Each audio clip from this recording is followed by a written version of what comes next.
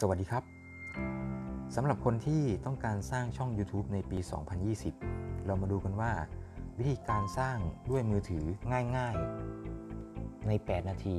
ทำยังไงกันบ้าง ก่อนติดตามชมฝากกด Subscribe และกดกระดิ่งแจ้งเตือน เรามาเริ่มกันเลยนะครับ อันดับแรกเนี่ยเราจะต้องเข้าช่อง YouTube ผ่านเว็บเบราว์เซอร์ของ Google Chrome นะครับโดยไปเซิร์ชหาคำว่า YouTube Desktop Site นะครับ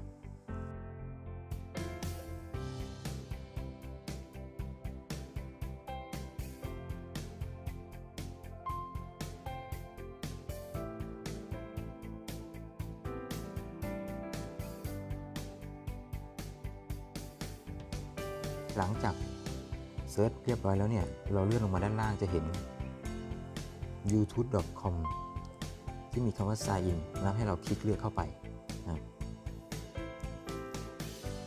หลังจากเข้ามาแล้วเนี่ยเราจะเห็นว่าในมือถือเราเนี่ยจะเป็นแบบเวอร์ชั่นของมือถือ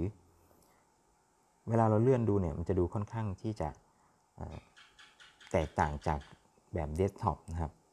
ให้เรามาเลือกที่จุด 3 จุดด้านบน เสร็จแล้วเลือกเว็บไซต์เวอร์ชันเดสก์ท็อป จะพาเรามาสู่ในหน้าของเวอร์ชันของเดสก์ท็อปซึ่งจะมีลักษณะหลาย ๆ หน้าหลาย ๆ วิดีโอเรียงกันนะครับ ทีนี้ให้เราเลือกของลงชื่อเข้าใช้ที่อยู่ด้านบนขวามือแตะเข้าไปเลยครับ มันจะพามาสู่หน้าที่ลงชื่อเข้าใช้เลือกบัญชีผู้ใช้นะครับ ตรงนี้เราจะต้องเตรียมบัญชีของ Google ไว้ให้เรียบร้อยนะครับ เวลาเรามาล็อกอินเข้าไป ให้กรอกชื่อ Gmail ของเรานะครับเข้าไป ผมก็ได้เตรียมบัญชีของ Gmail ไว้เรียบร้อยแล้ว ก็เดี๋ยวเราก็มาล็อกอินเข้าไปกันนะครับ เราทำตามกันไปพร้อมๆ กันเลยนะครับ เราจะได้เข้าใจไปพร้อมๆกันนะครับ นี่ผมกำลังใส่ในส่วนของชื่อ Gmail ของเราอยู่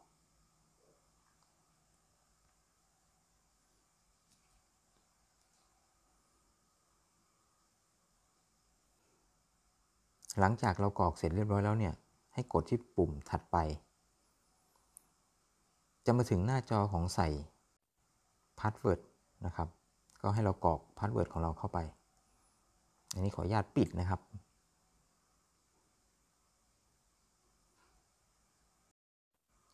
กรอกเสร็จแล้วก็กดปุ่มถัดไปนะครับ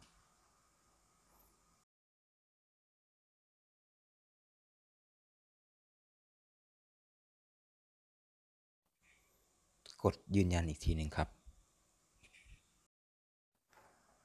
หลังจากกดมาแล้วนะครับ ก็จะพบเข้ามาที่ อ้าวยังกลับเข้ามาอยู่ เป็นแบบ มือถืออยู่นะครับ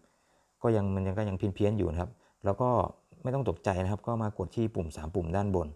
นะครับ แล้วก็เลือกเป็นเว็บไซต์เวอร์ชันเดสก์ท็อปเหมือนเดิมนะครับ แล้วก็เลือกไป อ่า พอเข้ามาที่หน้าจอแล้ว นะครับเราให้เราสังเกตมุมขวาบนนะครับที่เป็นรูปเขียวๆนะครับตรงนี้ของแต่ละท่านก็จะไม่เหมือนกันนะครับที่เป็นตัวอักษรย่อ ขึ้นตามชื่อของแต่ละคนนะครับ กดคลิกเข้าไป1ทีนะครับก็จะมาอยู่หน้าจอตามรูปนะครับ แล้วก็ให้เลือกสร้างช่องของเรานะครับ หลังจากนั้นก็จะคลิกที่เริ่มต้นใช้งาน จะพาไปสู่การสร้างห้อง YouTube นะครับ มันจะมีตัวเลือกให้เรา 2 ตัวนะครับตรงนี้นะครับ ด้านซ้ายเนี่ยให้เลือกใช้ตามชื่อของเราเลย ส่วนด้านขวาเนี่ยให้เราตั้งชื่อช่องของเรา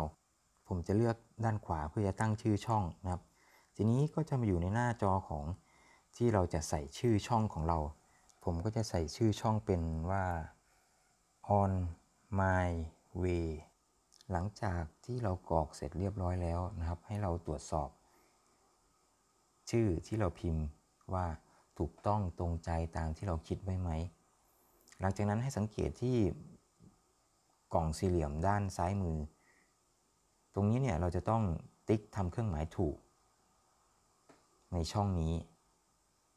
ถึงจะสามารถกดสร้างขึ้นมาได้นะครับ หลังจากที่เรากดแล้วเนี่ยตัวสร้างก็สามารถที่จะกดต่อไปได้ ตรวจสอบอีกทีนึงนะครับถ้า ถูกต้องแน่ใจแล้วใช่ไหมที่เราจะสร้างก็กดสร้างได้เลยนะครับ ถ้าเรามั่นใจแล้ว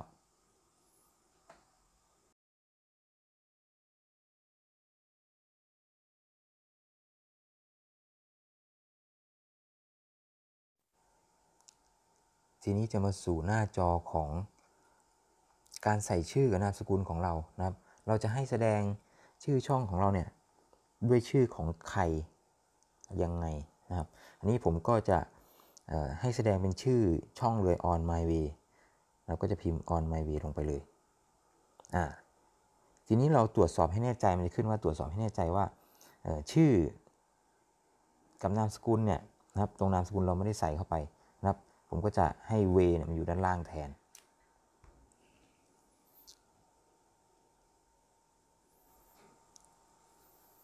อันนี้เราจะใช้ชื่อจริงของเราเลยก็ได้นะครับ ชื่อตรงนี้เนี่ยถ้าเราไปตอบคอมเมนต์หรืออะไรต่างๆเนี่ยก็จะโชว์แสดงชื่อตรงนี้ออกไปนะครับเราตรวจสอบให้แน่ใจว่าเราพิมพ์ถูกพิมพ์ตรง เราจะใช้ชื่อนี้ เมื่อตกลงตรงใจแล้วเนี่ยเราก็กดที่สร้างช่องได้เลย หลังจากกดสร้างเรียบร้อยแล้วเนี่ยก็จะมาอยู่หน้าจอของช่อง YouTube เราแล้วนะครับให้เรากด ที่รูปตัว S นะครับด้านขวา แต่ของบางท่านเนี่ยอาจจะขึ้นเป็นตัว T หรือตัวอะไรก็แล้วแต่ขึ้นอยู่กับอักษรตัวหน้าของท่านนะครับ หลังจากที่เรากดเลือกที่มุมรูปตัว S ไปแล้วเนี่ยเราจะเห็นว่าแถบที่ขึ้นมาก็คือ ช่องของคุณ การเป็นสมาชิกแบบชำระเงิน YouTube Studio แล้วก็สลับบัญชีออกจากระบบ ให้เราเลือกช่องของคุณนะครับ ก็จะพาเข้าสู่หน้าช่องของเรา มันก็จะมีอยู่ 2 ปุ่ม คือปุ่มปรับแต่งช่องกับ YouTube Studio ปรับแต่งช่องเนี่ยใช้สำหรับในการที่จะเปลี่ยนรูปโปรไฟล์อะไรต่างๆ ส่วน YouTube Studio เนี่ยเราเอาไว้สำหรับที่จะดูข้อมูลของช่องเรารวมถึงการอัปโหลดวิดีโอใหม่ ๆ เป็นยังไงบ้างครับสำหรับการสร้างช่อง YouTube ด้วยมือถือง่าย ๆ ในปี 2020 นี้ ยังไงก็ฝากกดติดตาม ด Subscribe กดไลค์กดแชร์ กดกระดิ่งแจ้งเตือน เป็นกำลังใจแล้วก็ไม่พลาดคลิปใหม่ ๆ ต่อไปนะครับผม สวัสดีครับ